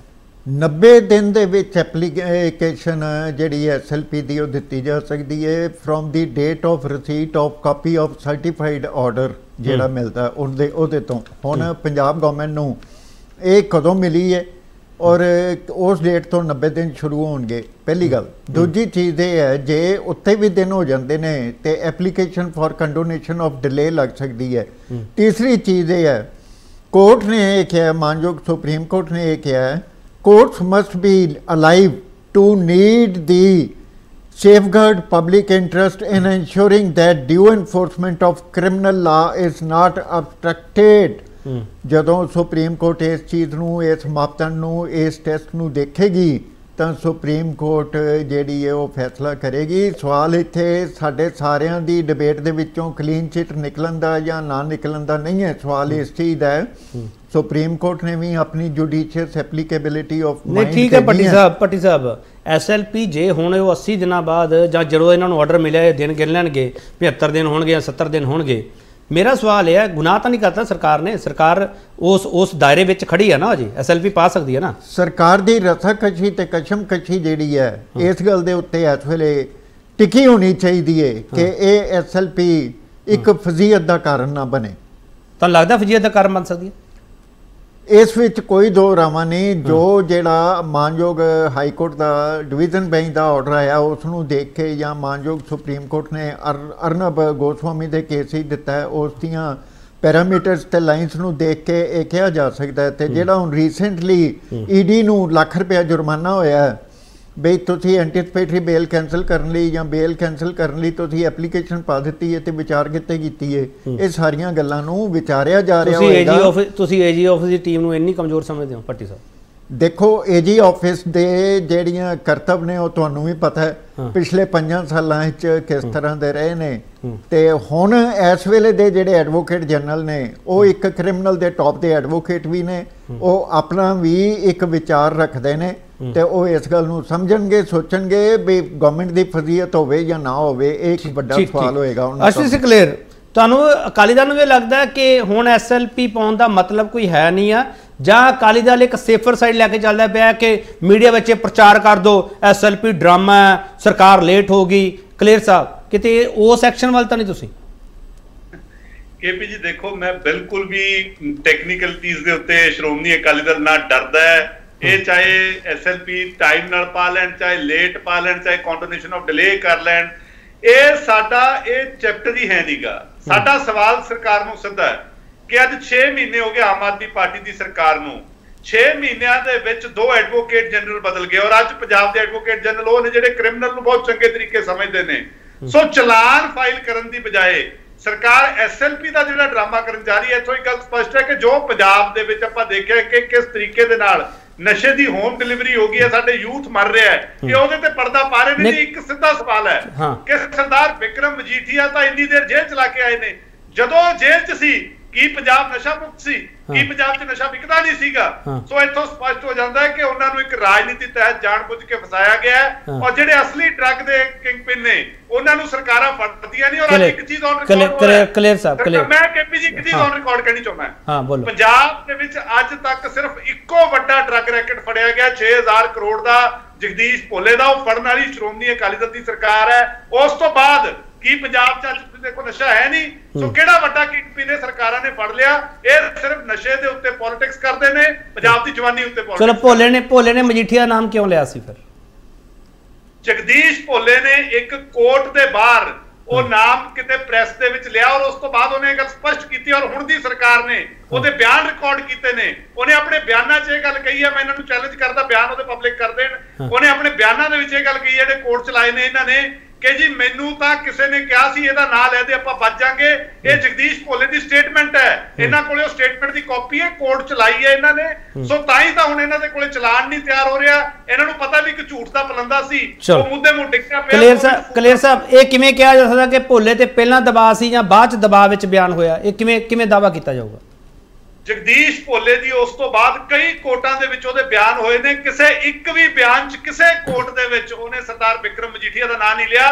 ਕੋਈ ਇੱਕ ਸਟੇਟਮੈਂਟ ਨਹੀਂ ਉਹਦਾ ਤਿੰਨ ਚਾਰ ਵਾਰੀ ਬਿਆਨ ਰਿਕਾਰਡ ਹੋ ਚੁੱਕਿਆ ਹੈ। ਉਹਨੇ ਅੱਜ ਤੱਕ ਕਦੇ ਕਿਸੇ ਕੋਰਟ ਦੇ ਵਿੱਚ ਆਪਣੀ ਸਟੇਟਮੈਂਟ 'ਚ ਵਿਕਰਮ ਮਜੀਠੀਆ ਦਾ ਨਾਂ ਨਹੀਂ ਲਿਆ। ਕਲੀਅਰ ਸਾਹਿਬ ਤੁਸੀਂ ਇਹ ਕਿਉਂ ਮੰਗ ਕਰ ਰਹੇ ਹੋ ਵਾਰ-ਵਾਰ ਚਲਾਨ ਪੇਸ਼ ਕਰਨ ਚ? ਤੁਹਾਨੂੰ ਲੱਗਦਾ ਕਿ ਸਰਕਾਰ ਕਮਜ਼ੋਰ ਚਲਾਨ ਪੇਸ਼ ਕਰਕੇ ਮੂੰਹ ਦਿਖਾਊਗੀ? ਸਰਕਾਰ ਨੂੰ ਵੀ ਸਰਕਾਰ ਨੇ ਵੀ ਕੰਮ ਕਰਨਾ ਨਾ। ਪੁਲਿਸ ਨੇ ਵੀ ਕੰਮ ਕਰਨਾ ਇਨਵੈਸਟੀਗੇਸ਼ਨ ਟੀਮ ਨੇ ਵੀ ਕੰਮ ਕਰਨਾ। ਹੈ ਕੇਪੀ ਜੀ ਜਿੱਦਾਂ ਮੈਂ ਪਹਿਲਾਂ ਹੀ ਕਿਹਾ ਕਿ ਅਦਾਲਤਾਂ ਚੱਲਦੀਆਂ ਨੇ ਕਾਨੂੰਨ ਦੇ ਨਾਲ ਅਦਾਲਤਾਂ ਚੱਲਦੀਆਂ ਸਬੂਤ ਦੇ ਨਾਲ। ਸੋ ਅਸੀਂ ਚਾਹੁੰਦੇ ਆ ਕਿ ਦੱਸਣ ਜਾ ਕੇ ਅਦਾਲਤ ਨੂੰ ਜਿੱਦਾਂ ਹਾਈ ਕੋਰਟ ਦੇ ਵਿੱਚ ਇਹ ਕੇਸ 3 ਮਹੀਨੇ ਪੈਂਡਿੰਗ ਚੱਲਦਾ ਰਿਹਾ ਐਡਵੋਕੇਟ ਜਨਰਲ ਸਟੇਟਮੈਂਟ ਦਿੰਦੇ ਰਹੇ। ਇਹਨਾਂ ਕੋਲੇ ਸਬੂਤ ਕੋਈ ਨਹੀਂ ਨਾ ਕਾਂਗਰਸ ਕੋਲੇ ਸੀ। ਕਾਂਗਰਸ ਨੇ ਤਾਂ ਦਬੜ ਕੁਸੜ ਕਰਕੇ ਇੱਕ ਪਰਚਾ ਦੇਤਾ। ਆਮ ਆਦਮੀ ਪਾਰਟੀ ਵੀ ਅੱਜ ਸਿਰਫ ਸੰਜੇ ਸਿੰਘ ਦੇ ਚੱਕਰ ਦੇ ਵਿੱਚ ਇਹਨੂੰ ਫੋਲੋ ਕਰ ਰਹੀ ਹੈ। ਅਦਰਵਾਈਜ਼ ਇਹ ਝੂਠ ਦਾ ਪਰੰਦਾ ਇਸ ਕੇਸ ਦੇ ਵਿੱਚ। ਮੈਰਿਟ ਨਾਮ ਦੀ ਇੱਕੋ ਹੀ ਚੀਜ਼। ਹੈ ਚਲੋ ਕਾਂਗਰਸ ਦੀ ਲਾਈਨ ਨੂੰ ਤੁਸੀਂ ਫੋਲੋ ਕਰ ਲਿਆ। ਖੜਿਆਲ ਸਾਹਿਬ ਲਾਸਟ ਸਟੇਟਮੈਂਟ ਫਟਾਫਟ ਪਲੀਜ਼ ਪਹਿਲਾਂ ਤਾਂ ਜੀ ਕਲੇਰ ਸਾਹਿਬ ਨੂੰ ਸਵਾਲ ਮੇਰਾ। ਇਹ ਕਹਿੰਦੇ ਵੀ ਚਲਾਨ ਨਹੀਂ ਪੇਸ਼ ਹੋਇਆ ਬੜਾ ਟਾਈਮ ਹੋ ਗਿਆ ਤੇ ਚਲਾਨ ਦਾ ਜਿਹੜਾ ਲਿਮਿਟੇਸ਼ਨ ਟਾਈਮ ਹੁੰਦਾ ਹੈ ਜਿਹੜੇ ਜਿਹਦੇ ਵਿੱਚ ਉਹ ਫਾਈਲ ਹੋਣਾ ਚਾਹੀਦਾ ਨਹੀਂ ਹੋਇਆ ਤੇ ਤੁਸੀਂ 482 ਦੇ ਅੰਡਰ 482 ਦੇ ਅੰਡਰ ਡਾਇਰੈਕਸ਼ਨ ਕਿਉਂ ਨਹੀਂ ਕਰਾਈ ਪੁਲਿਸ ਨੂੰ? ਪਹਿਲਾ ਸਵਾਲ। ਦੂਜੀ ਗੱਲ ਜਨਵਰੀ 24 2022 ਨੂੰ ਜਦੋਂ ਆਰਡਰ ਹੋ ਗਿਆ ਉਹ ਤੋਂ ਬਾਅਦ ਇਹਨਾਂ ਨੂੰ ਬਾਈ ਮੇ ਬਾਈ ਮੇ ਜੇ ਸਪੈਸ਼ਲੀ ਪਟੀਸ਼ਨ ਪਾਉਣੀ ਸੀ ਜੋ ਕਿ ਇੱਕ ਅੱਛਾ ਆਈਡੀਆ ਸੀਗਾ ਅਸੀਂ ਵੀ ਕਿਹਾ ਸੀਗਾ ਆਮ ਆਦਮੀ ਪਾਰਟੀ ਨੇ ਉਦੋਂ ਤਾਂ ਪਾਈ ਨਹੀਂ ਤੇ ਹੁਣ ਇਹ ਬੇਸਿਕਲੀ ਇਹਨਾਂ ਨੂੰ ਕੰਡੋਨ ਉੱਥੇ ਕਰਾਉਣਾ ਪੈਣਾ ਹੈ। ਕੰਡੋਨ ਕਰਾਉਣ ਦੀ ਉੱਥੇ ਉੱਥੇ ਉੱਥੇ ਮਸ਼ਕਕਤ ਹੋਊਗੀ। ਉਹਦੇ ਟਾਈਮ એનર્ਜੀ ਡੇਟ ਵੀ ਵੇਸਟ ਹੋਊਗੀ। ਸੋ ਕੀ ਆਮ ਆਦਮੀ ਪਾਰਟੀ ਇਹਦਾ ਕੋਈ ਜਵਾਬ ਦੇਊਗੀ ਵੀ ਕਿਉਂ ਇਹਨਾਂ ਨੇ ਪਹਿਲਾਂ ਐਕਸ਼ਨ ਕਿਉਂ ਨਹੀਂ ਲਿਆ? ਤੇ ਹੁਣ ਇਹਨਾਂ ਨੂੰ ਕੰਡੋਨ ਕਰਾਉਣ ਤੱਕ ਜਾਣਾ ਪੈਣਾ। ਤੇ ਨੰਬਰ 3 ਮਜੀਠੀਆ ਜਿਹੜਾ ਕਲੀਅਰ ਸਾਹਿਬ ਦਾ ਲੌਜੀਕ ਸੀਗਾ ਇਹ ਲੌਜੀਕ ਫ੍ਰੈਕਚਰਡ ਲੌਜੀਕ ਹੈ। ਇਹ ਕਹਿੰਦੇ ਵੀ ਜਦੋਂ ਮਜੀਠੀਆ ਸਾਹਿਬ ਅੰਦਰ ਗਏ ਕਿ ਨਸ਼ਾ ਰੁਕ ਗਿਆ ਜਦੋਂ 5 ਮਹੀਨੇ ਅੰਦਰ ਸੀਗੇ ਹੁਣ ਤੱਕ ਇਹ ਵੀ ਜੀ ਇਹ ਬੜਾ ਅੱਛਾ ਆਰਗੂਮੈਂਟ ਬੜੀ ਅੱਛੀ ਲੌਜਿਕ ਹੈ ਮਰਡਰਰਸ ਜਦ ਜਾਣਗੇ ਨਾ ਮਰਡਰਰਸ ਵੀ ਜਾ ਕੇ ਆਈ ਕਿਆ ਕਰਨ ਰੇਪਿਸ ਜਾ ਕੇ ਆਪਣਾ ਡਰਗ ਪੈਡਲਰਸ ਜਾ ਕੇ ਕਿਆ ਕਰਨ ਵੀ ਅਸਤਾ ਜੀ ਅੰਦਰ ਸੀਗੇ ਜਦੋਂ ਅਸੀਂ ਅੰਦਰ ਸੀ ਕਿ ਬਾਹਰ ਇਹ ਮਰਡਰਸ ਰੁਕ ਗਏ ਰੇਪਸ ਰੁਕ ਗਏ ਅਬਡਕਸ਼ਨਸ ਰੁਕ ਗਈਆਂ ਹੋਰ ਚੀਜ਼ਾਂ ਰੁਕ ਗਈਆਂ ਇਹ ਕਿੱਥੋਂ ਦਾ ਲੌਜਿਕ ਹੈ ਸੋ। ਆਮ ਆਦਮੀ ਪਾਰਟੀ ਇਹ ਚੀਜ਼ ਨੂੰ ਕਰੇ ਜਲਦੀ ਕਰੇ ਇਹ ਅੱਛੀ ਚੀਜ਼ ਹੈ ਲੇਕਿਨ ਪਹਿਲਾਂ ਵੀ ਤੁਹਾਨੂੰ ਕਰਨੀ ਚਾਹੀਦੀ ਜਦੋਂ ਅਸੀਂ ਡਿਮਾਂਡ ਕਰਦੇ ਸੀ। ਤੇ ਹਾਈ ਕੋਰਟ ਜਾਲੇ ਜੋਰ ਲਾਉਣਾ ਚਾਹੀਦਾ ਸੀ ਜੋ ਤੁਸੀਂ ਨਹੀਂ ਲਾਇਆ ਠੀਕ ਠੀਕ ਹਾਂ mister Shashiveer last comment please ਪਹਿਲੀ ਗੱਲ ਤਾਂ ਜਿਵੇਂ ਅਕਾਲੀ ਦਲ ਦੇ ਕਲੀਅਰ ਸਾਹਿਬ ਭੁੱਲ ਗਏ ਕਿ 10 ਸਾਲ ਸਮਾਂ ਇਹਨਾਂ ਨੇ ਵੀ ਹੰਡਾਇਆ ਤੇ ਉਸ 10 ਸਾਲ ਦੇ ਵਿੱਚ ਸਭ ਤੋਂ ਵੱਧ ਰਿਕਾਰਡ ਜਿਹੜਾ ਨਸ਼ੇ ਦੇ ਪੈਰ ਪਸਾਰੇ ਸੀਗੇ ਪੰਜਾਬ ਦੇ ਵਿੱਚ ਜਿਸ ਤਰੀਕੇ ਨਾਲ ਐਫ ਆਈ ਆਰਸ ਹੋਈਆਂ ਸਾਰਿਆਂ ਦੇ ਸਾਹਮਣੇ ਜਿਸ ਤਰੀਕੇ ਨਸ਼ਾ ਉਸ ਲੈਵਲ ਤੇ ਫੈਲਿਆ ਹੁਣ ਜਿਸ ਤਰੀਕੇ ਉਹ ਹਰ ਚੀਜ਼ ਦੀ ਐਕਸਪਲੇਨੇਸ਼ਨ ਟੀਵੀ ਤੇ ਬੈਠ ਕੇ ਮੰਗ ਰਹੇ ਨੇ ਕਿ ਇਨਵੈਸਟੀਗੇਸ਼ਨ ਕਿਉਂ ਨਹੀਂ ਹੋ ਰਹੀ ਚਲਾਨ ਕਿਉਂ ਨਹੀਂ ਪੇਸ਼ ਹੋ ਰਿਹਾ ਮੈਂ ਚੀਜ਼ ਦੱਸਣਾ ਚਾਹੁੰਦਾ ਕਿ ਮੈਟਰ ਜਦੋਂ ਸ਼ਸ਼ੀਵੀਰ ਅੰਦਰ ਜੀ ਸ਼ਸ਼ੀਵੀਰ ਜੀ ਇਸੇ ਟੀਵੀ ਤੇ ਬੈਠ ਕੇ ਤੁਸੀਂ ਸਵਾਲ ਕਰਦੇ ਹੁੰਦੇ ਸੀ ਸਰ ਇਸੇ ਟੀਵੀ ਤੇ ਮੈਂ। ਤਾਂ ਸਰ ਮੈਂ ਟੀਵੀ ਚੈਨਲ ਦੀ ਗੱਲ ਕਰ ਰਿਹਾ ਜਿਸ ਤਰੀਕੇ ਨਾਲ ਉਹ ਕਰ ਰਹੇ ਨੇ ਚਲਾਨ ਮੰਗਦੇ ਪਏ ਨੇ ਕਿ ਚਲਾਨ ਕਿਉਂ ਨਹੀਂ ਹੋ ਰਿਹਾ ਇਨਵੈਸਟੀਗੇਸ਼ਨ ਕਿਉਂ ਨਹੀਂ ਹੋ ਰਹੀ? ਤੁਸੀਂ ਦੱਸ ਦਿਓ ਨਾ ਸਰ ਤੁਸੀਂ ਦੱਸ ਦਿਓ ਸ਼ਸ਼ੀਵੀਰ ਜੀ ਵੀ ਚਲਾਨ ਇੰਨੀ ਤਰੀਕ ਨੂੰ ਪੇਸ਼ ਕਰ ਦਾਂਗੇ ਗੱਲ ਖਤਮ ਹੋ ਗਈ। ਸਰ ਪੁਲਿਸ ਦਾ ਮੈਟਰ ਹੈ ਪੁਲਿਸ ਦਾ ਮੈਟਰ ਅਸੀਂ ਕਿਸ ਤਰ੍ਹਾਂ ਦੱਸ ਸਕਦੇ। ਹਾਂ? ਪੁਲਿਸ ਅੰਡਰ ਇਨਵੈਸਟੀਗੇਸ਼ਨ ਕਰ ਰਹੀ ਹੈ ਡਾਕੂਮੈਂਟ ਕਰ ਰਹੀ ਹੈ ਡਾਕੂਮੈਂਟ ਕੀ ਪਤਾ? ਕੋਈ ਡਾਕੂਮੈਂਟ ਉਹਨਾਂ ਫੋਰੈਂਸਿਕ ਟੈਸਟ ਵਾਸਤੇ ਭੇਜੇ ਹੋ ਸਕਦੇ। ਕਿਸੇ ਵਿੱਚ ਇਨਵੈਸਟੀਗੇਸ਼ਨ ਮੈਨੂੰ ਇਹ ਦੱਸੋ ਸਰ ਮੈਨੂੰ ਇਹ ਦੱਸੋ ਮੈਨੂੰ ਇਹ ਦੱਸੋ ਜਦੋਂ ਬਰਗਾੜੀ ਕਾਂਡ ਦੀ ਗੱਲ ਹੁੰਦੀ ਹੈ ਗੋਲੀ ਕਾਂਡ ਦੀ ਗੱਲ ਹੁੰਦੀ ਹੈ ਉੱਥੇ ਆ ਕੇ ਤੁਸੀਂ ਟਾਈਮ ਫਰੇਮ ਦੱਸਿਓ ਨੇ ਹੋ ਤੁਹਾਡੇ ਸਿਆਸਤਦਾਨ ਦੱਸਦੇ ਆ ਡੇਢ ਮਹੀਨੇ ਵਿੱਚ ਕਰ ਦੇਵਾਂਗੇ। ਉਦੋਂ ਪੁਲਿਸ ਨਹੀਂ ਇਨਵੈਸਟੀਗੇਸ਼ਨ ਕਰ ਰਹੀ ਉਦੋਂ ਐਸਆਈਟੀ ਕੰਮ ਨਹੀਂ ਕਰ ਰਹੀ ਉਦੋਂ ਸਰਕਾਰਾਂ ਕਿਉਂ ਦਾਅਵੇ ਕਰਦੀਆਂ ਸਰ? ਤੁਸੀਂ ਸਾਰੇ ਸਾਰੇ ਉਲਝਾ ਰਹੇ ਹੋ ਸਰ। ਕਾਂਗਰਸ ਵੀ ਉਲਝਾ ਰਹੀ ਹੈ ਇਸ ਮੁੱਦੇ ਤੇ ਸਰਕਾਰ ਕੰਮ ਕਰਦੀ ਹੈ ਜੀ ਪੁਲਿਸ ਕਰ ਰਹੀ ਹੈ ਜੀ। ਇੱਥੇ ਜੀ ਸਰਕਾਰ ਨੇ ਨਹੀਂ ਕਰਨਾ ਜੀ ਪੁਲਿਸ ਨੇ ਕਰਨਾ। ਤੁਸੀਂ ਸਰ ਇਹ ਸਮਝਦੇ ਹੋ ਦਰਸ਼ਕ ਸਾਡਾ ਸਰ ਬਹੁਤ ਸਿਆਣਾ ਸਰ। ਸ਼ਸ਼ੀਵੀਰ ਜੀ ਬੋਲੋ ਪਲੀਜ਼ ਵੀ ਸਿਆਣੇ ਹੈ ਪਰ ਜਿਸ ਤਰੀਕੇ ਉਹ ਹਰ ਚੀਜ਼ ਦੀ ਡਿਮਾਂਡ ਔਨ ਟੀਵੀ ਮੰਗਦੇ ਪਏ ਨੇ ਚਾਹੇ ਉਹ ਪਰਚੇ ਦੀ ਚਾਹੇ ਉਹ ਅਹ, ਚਲਾਣ ਦੀ ਗੱਲ ਕਰਦੇ ਨੇ ਚਾਹੇ ਉਹ ਆਪਦੇ ਆਪ ਨੂੰ ਬਿਲਕੁਲ ਮੈਰਿਟਸ ਤੋਂ ਫ੍ਰੀ ਦੱਸਦੇ ਪਏ ਨੇ ਮੈਂ ਉਹਦਾ ਜਵਾਬ ਦੇ ਰਿਹਾ ਕਿ ਜਦੋਂ ਮੈਟਰ ਆਲਰੇਡੀ ਕੋਰਟ ਦੇ ਵਿੱਚ ਪੈਂਡਿੰਗ ਹੁੰਦਾ ਹੈ ਤੇ ਉਹਦਾ ਜਿਹੜਾ ਜਵਾਬ ਹੈ ਪੁਲਿਸ ਇਨਵੈਸਟੀਗੇਸ਼ਨ ਦੇ ਨਾਲ ਹੀ ਦਿੱਤਾ ਜਾ ਸਕਦਾ ਹੈ ਤੇ ਜਦੋਂ ਇਨਵੈਸਟੀਗੇਸ਼ਨ ਕੰਪਲੀਟ ਹੋਏਗੀ ਮੁਕੰਮਲ ਹੋਏਗੀ ਸਭ ਤੋਂ ਪਹਿਲੀ ਕਾਪੀ ਮਜੀਠੀਆ ਸਾਹਿਬ ਨੂੰ ਮਿਲੇਗੀ ਕੋਰਟ ਦੇ ਵਿੱਚ ਜਦੋਂ ਪੇਸ਼ ਹੋਏਗਾ ਚਲਾਣ। ਜੀ। ਤੁਹਾਡੀ ਤੁਹਾਡੀ ਐਸਐਲਪੀ ਵਾਲਾ ਆਰਗੂਮੈਂਟ ਮਜ਼ਬੂਤ ਹੈ ਸਰ ਸੁਪਰੀਮ ਕੋਰਟ ਇੰਟਰਟੇਨ ਕਰੂਗੀ ਤੁਹਾਨੂੰ। ਇਹ ਚੈਲੰਜ ਤੁਹਾਡਾ ਤੁਹਾਡੀ ਤੁਹਾਡੀ ਫਜੀਅਤ ਤਾਂ ਨਹੀਂ ਹੋ ਜੂਗੀ ਪੱਟੀ ਸਾਹਿਬ ਨੇ ਸਵਾਲ ਕੀਤਾ ਸੀਗਾ। ਲਾਸਟ ਸਵਾਲ ਪਲੀਜ਼ ਸਰ ਬਿਲਕੁਲ ਬਿਲਕੁਲ ਫਜੀਅਤ ਨਹੀਂ ਹੋਏਗੀ। ਡੈਫੀਨੇਟਲੀ ਔਨ ਜਿਹੜੀ ਬਿਲਕੁਲ ਸਟਰੋਂਗਲੀ ਉਹਨੂੰ ਉਹ ਪ੍ਰੋਟੈਸਟ ਕੀਤਾ ਜਾਏਗਾ ਬੜੇ ਸਟਰੋਂਗਲੀ ਉਹ ਰੱਖਿਆ ਜਾਏਗਾ ਤੇ ਡੈਫੀਨੇਟਲੀ ਉਹਦੇ ਰਿਜ਼ਲਟਸ ਵੀ ਚੰਗੇ ਹੋਣਗੇ ਹਾਂ ਕਲੀਅਰ ਸਰ ਕਲੀਅਰ ਸਰ ਫਟਾਫਟ ਬੋਲੋ ਪਲੀਜ਼ ਨਹੀਂ ਮੈਂ ਤਾਂ ਇਹਨਾਂ ਨੂੰ ਫੇਰ ਦੁਬਾਰਾ ਕਹਿਣਾ ਚਾਹੁੰਦਾ ਜੀ ਕਿ ਚਲੋ ਐਸਐਲਪੀ ਪਾ ਲੈਣ ਜਾ ਕੇ ਦੱਸ ਦੇਣ ਇਹਨਾਂ ਨੇ ਜੋ ਐਸਐਲਪੀ ਦੇ ਵਿੱਚ ਹੈਗਾ। ਪਰ ਕੀ ਅੱਜ ਇਹ ਔਨ ਰਿਕਾਰਡ ਇਹ ਗੱਲ ਮੰਨਦੇ ਆ ਕਿ ਅਗਰ ਐਸਐਲਪੀ ਡਿਸਮਿਸ ਹੋ ਗਈ ਔਰ ਸਰਕਾਰ ਉੱਥੇ ਮੂੰਹ ਦੀ ਖਾ ਕੇ ਵਾਪਸ ਆਈ ਤਾਂ ਫਿਰ ਕੀ ਇਹ ਜਨਤਕ ਤੌਰ ਤੇ ਇੱਕ ਵਾਰ ਫੇਰ ਕੇਜਰੀਵਾਲ ਸਾਹਿਬ ਮਾਫੀ ਮੰਗਣ ਲਈ ਤਿਆਰ ਨੇ ਕਿ ਜੀ ਸਾਡੇ ਤੋਂ ਬਹੁਤ ਵੱਡੀ ਗਲਤੀ। ਹੋ ਗਈ। ਅਸੀਂ ਪੰਜਾਬ ਨੂੰ ਸਮਝਦੇ ਔਰ ਦੂਸਰੀ ਗੱਲ ਮੈਂ ਫੇਰ ਦੁਬਾਰਾ ਕਹਿ ਰਿਹਾ ਕਿ ਪੰਜਾਬ ਦੇ ਵਿੱਚ ਨਸ਼ਾ ਇਹਨਾਂ ਦੇ ਆਪਣਾ ਰਿਕਾਰਡ ਹੈ ਸਰਕਾਰੀ ਕਿ 2018 ਤੋਂ 22 ਤੱਕ ਪੰਜਾਬ ਦੇ ਵਿੱਚ ਨਸ਼ਾ ਬਿਲਕੁਲ ਵੱਧ ਗਿਆ ਔਰ ਇਹ ਐਫੀਡੇਵਿਟ ਇਹਨਾਂ ਨੇ ਹਾਈ ਕੋਰਟ ਦੇ ਵਿੱਚ ਫਾਈਲ ਕੀਤਾ ਹੈ। ਇਹ ਜਿਹੜੀ ਹਾਈ ਕੋਰਟ ਦੇ ਵਿੱਚ ਡਰੱਗਸ ਦਾ ਕੇਸ ਚੱਲ ਰਿਹਾ ਉਹ ਐਫੀਡੇਵਿਟ ਹੈ ਪੰਜਾਬ ਸਰਕਾਰ ਦਾ ਕਿ 2018 ਤੋਂ ਬਾਅਦ ਰਾਈਜ਼ ਆਇਆ ਕੇਸਿਸ ਦੇ ਵਿੱਚ। ਸੋ ਜਿਹੜਾ ਸ਼੍ਰੋਮਣੀ ਅਕਾਲੀ ਦਲ ਦਾ ਨਾਂ ਲੈਂਦੇ ਨੇ ਮੈਨੂੰ ਨਹੀਂ ਪਤਾ ਕਿਸ ਬੇਸਿਸ ਤੇ ਲੈ ਰਹੇ ਨੇ, ਕਿਉਂਕਿ ਇਹਨਾਂ ਦਾ ਪੰਜਾਬ ਸਰਕਾਰ ਦਾ ਐਫੀਡੇਵਿਟ ਹੈ ਕਿ 2018 ਤੋਂ ਬਾਅਦ ਪੰਜਾਬ ਦੇ ਵਿੱਚ ਡਰੱਗ ਕੇਸਿਸ ਰਾਈਜ਼ ਆਇਆ ਚਲੋ, ਬਹੁਤ ਧੰਨਵਾਦ ਮਿਸਟਰ ਕਲੀਅਰ, ਤੁਹਾਡਾ, ਮਿਸਟਰ ਖੜਿਆਲ, ਤੁਹਾਡਾ ਬਹੁਤ ਧੰਨਵਾਦ ਸ਼ਸ਼ੀਵੀਰ ਤੁਹਾਡਾ ਬਹੁਤ ਧੰਨਵਾਦ, ਜਗਮੋਹਨ ਸਿੰਘ ਪੱਟੀ ਤੁਹਾਡਾ ਬਹੁਤ ਧੰਨਵਾਦ। ਸਾਰੇ ਵਕੀਲ ਸੀ, ਵਕੀਲਾਂ ਨੇ ਆਪਦੇ ਆਪ ਦੀ ਦਲੀਲ ਦਿੱਤੀ ਹੈ, ਪਰ ਇਸ ਦਲੀਲ ਨਾਲ ਤੁਸੀਂ ਕਿੰਨੇ ਸਹਿਮਤ ਹੋ? ਮਜੀਠੀਆ ਤੇ ਹੁਣ ਸੋਈ ਕਿਉਂ ਘੁੰਮੀ? ਸਾਡਾ ਸਵਾਲ ਇਹ ਸੀਗਾ ਤੇ ਇਸ ਸਵਾਲ ਦਾ ਜਵਾਬ ਇਸ ਡਿਬੇਟ ਵਿੱਚ ਬਹੁਤ ਸਪਸ਼ਟ ਸ਼ਬਦਾਂ ਵਿੱਚ ਮਿਲ ਗਿਆ। ਬਹੁਤ ਧੰਨਵਾਦ।